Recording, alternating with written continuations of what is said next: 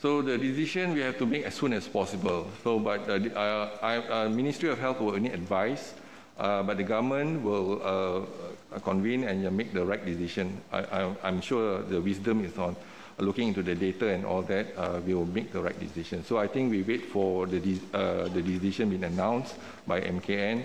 But as I said, one size doesn't fit all. So we need to strategize uh, and uh, look into the details of the, the targeted group and the targeted state and district.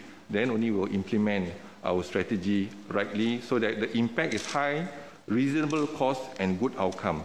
So it's very difficult for us to strike a right balance uh, between health and economy, between life and livelihood.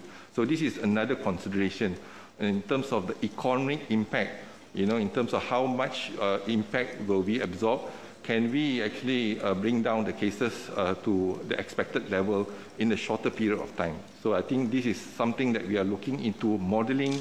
We are looking into uh, certain uh, discussion in terms of uh, uh, balancing uh, between health and economy.